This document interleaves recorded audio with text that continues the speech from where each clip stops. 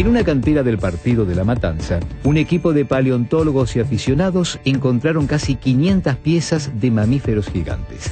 Mastodontes, gliptodontes, megaterios y toxodontes. ¿Cómo se extinguieron?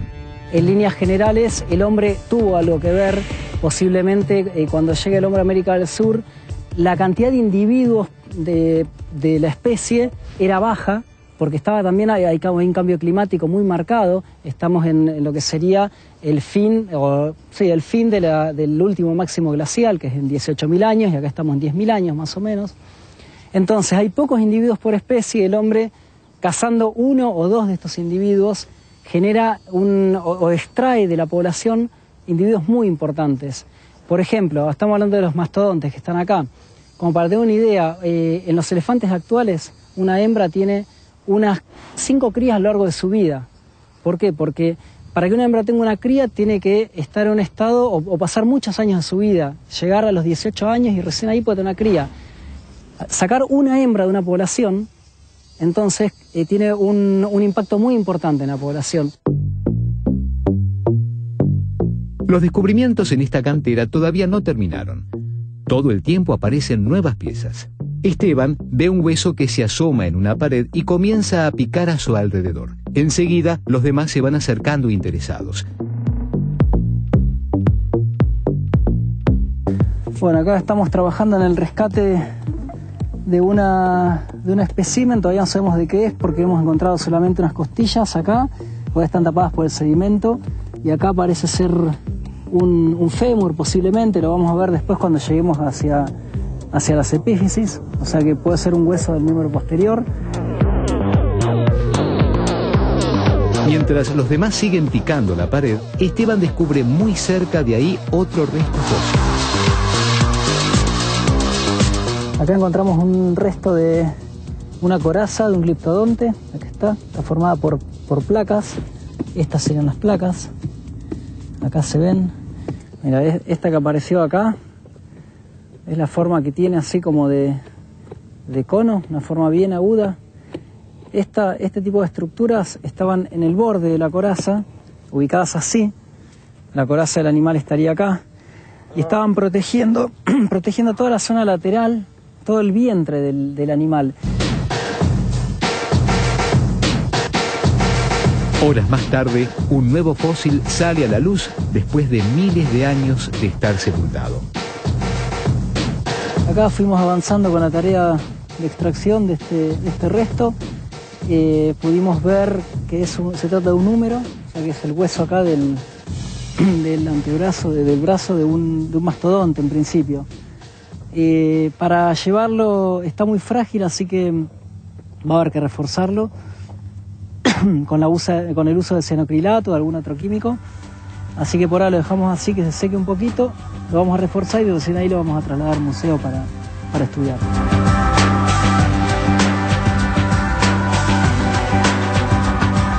Estás en el campo, estás mucho más relajado y venís a hacer esto, a trabajar acá y a compartir con tus colegas y amigos un momento que realmente es agradable para todos los que estamos trabajando en esto.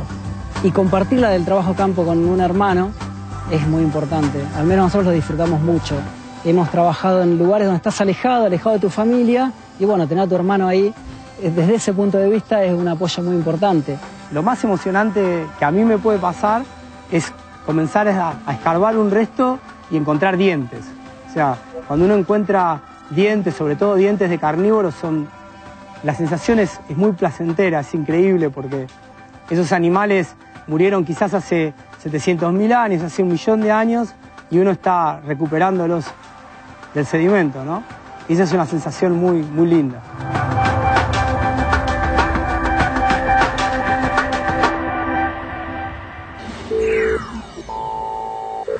Ahora en el programa vamos a hablar con el doctor, aunque él ahora va a aclarar si es doctor o no, Néstor Alejandro Nicolás.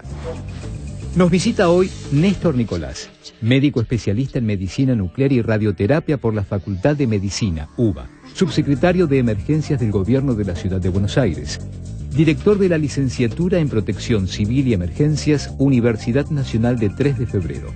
Fue asesor de la comisión investigadora de la legislatura de la Ciudad de Buenos Aires de los hechos ocurridos en el local bailable República de Cromañón el 30 de diciembre de 2004. Le gusta leer novelas latinoamericanas.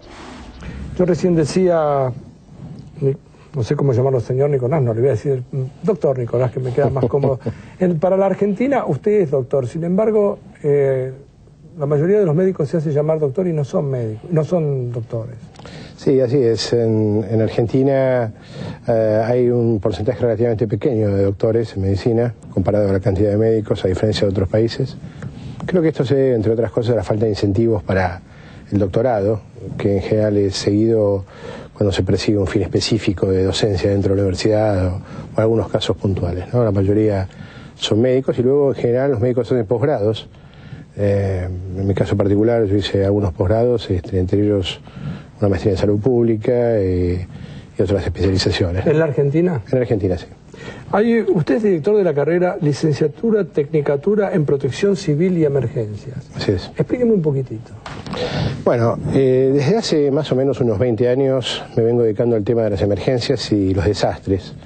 Este, primero me dediqué al tema de la emergencia en la medicina, pero después esto fue derivando hacia la emergencia en la salud pública y en tal sentido trabajé en una serie de organismos internacionales, trabajé como consultor para la Organización Panamericana de la Salud, fui evaluador externo de sus programas, trabajé para algunos temas puntuales de, para la cooperación británica, en evaluación de programas de desastres que ellos tenían, y fui desde, digamos, del grupo fundador de Cascos Blancos, este, fui director de operaciones de Cascos Blancos durante cerca de ocho años. Y bueno, esto me dio una experiencia de ver sobre todo desastres en diferentes puntos del mundo. Ahora, cuando usted habla de desastres, discúlpeme que lo interrumpa, pero desastres puede haber muchos, puede haber un ataque terrorista, puede haber una inundación, etcétera. Usted está hablando específicamente de emergencias médicas, de pandemias.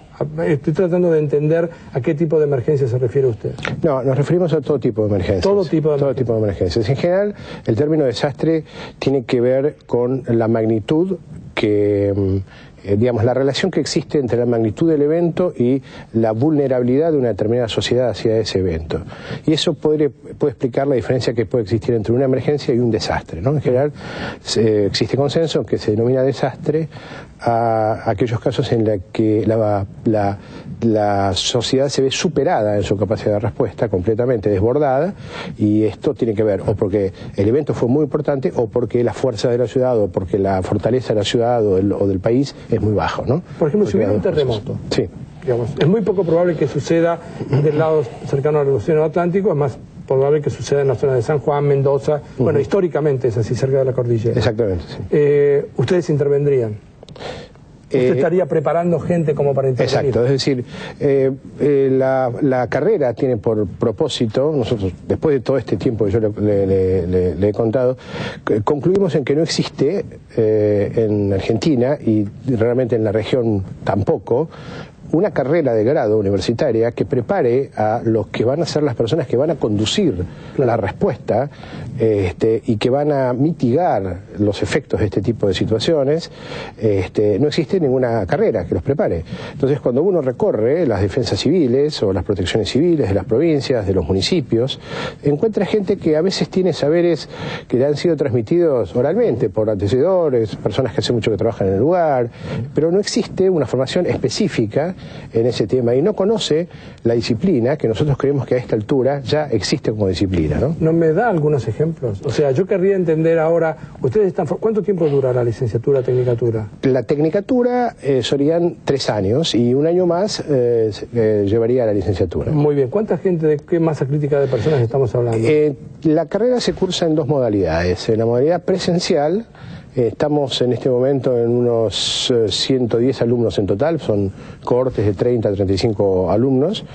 Eh, esto fue restringido ex profeso por nosotros en los primeros años para poder, este, eh, digamos, manejar, que resulte más manejable la, formación. Y luego hay una, una formación virtual hay una carrera virtual que tiene en este momento creo que poco más de 100 inscriptos.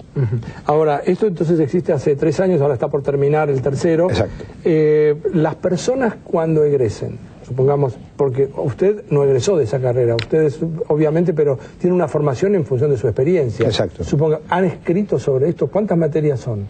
Y tiene, eh, digamos, para la tecnicatura son poco menos de 30 materias y hasta la licenciatura 40 materias. 40 materias. Ahora, una persona que egresa, sea después del tercer año o el cuarto año, Sí. ¿está en condiciones de abordar qué problemas? ¿Me puede dar una lista imaginaria, tentativa, de problemas emergentes o emergencias o desastres? Sí, eh, en el eh, caso de la tecnicatura, la formación es una formación sobre todo de tipo práctica. Es una formación en la que persona tiene materias que, eh, tales como conocer todos los aspectos de prevención, de, de siniestros, digamos, eh, elementos de mitigación, como puede ser la elaboración de planes de evacuación. Por ejemplo, este edificio que nosotros tenemos aquí, esta persona estaría en condiciones de hacer un plan mediante el cual permita una adecuada y correcta eh, eva- evacuación. Podría estimar el riesgo que en función de la carga de combustible que esto tiene y de lo- del tipo de conexiones que aquí existen puede amenazar este lugar, por, por tomar un caso muy puntual. Sí, sí, sí. Y puede hacer lo mismo en cada una de las diferentes amenazas que puede tener la localidad en la que se desempeña. Sobre todo en la modalidad virtual, nosotros tenemos gente prácticamente de todo el país, desde Jujuy hasta Tierra del Fuego, cursando, ¿no? Con amenazas muy diferentes. eh, acechando estas provincias, es decir, eh, hay provincias como usted mencionó recientemente, el caso de Tierra del Fuego, por ejemplo, Ushuaia es una zona sísmica, al mismo tiempo la zona de Jujuy también lo es, pero ellos tienen otro tipo de amenazas como riadas, este, eh, en fin, en la zona de Tierra del Fuego grandes nevadas, y luego todos los que nosotros llamamos incidentes antropo- antropogénicos, que son aquellos producidos por el hombre, desde accidentes químicos este, hasta contaminaciones de diferente tipo, ¿Hay ejemplos de, ante- de contaminaciones químicas en la Argentina? En, a gran escala, hablo de que generen, no que se haya producido una filtración en una fábrica, sino que hablo de algo que efectivamente afecte a un grupo muy grande de la población, No tenemos en Argentina un ejemplo de un Bhopal, digamos, como en la India, o un Chernobyl. o un Chernobyl que sería en este caso nuclear, ¿no es Sí, cierto? bueno, pero en definitiva estamos Sí. hablando de un... Sí, eh, no, no tenemos este ejemplo, pero eh, nosotros consideramos entre los elementos que se imparten este tipo de posibles amenazas y, y, digamos y damos los elementos para que las personas estimen las vulnerabilidades de sus sociedades, de donde ellos se desempeñan, frente a estas amenazas, ¿no? Estamos hablando con el médico Néstor Alejandro Nicolás, aquí en Científicos Industria Argentina, y en un instante después de esta pausa vamos a volver con él. Cuando volvamos seguimos conversando sobre seguridad y emergencias. Además, la película Alicia en el País de las Maravillas bajo la lupa de la física. Ya volvemos.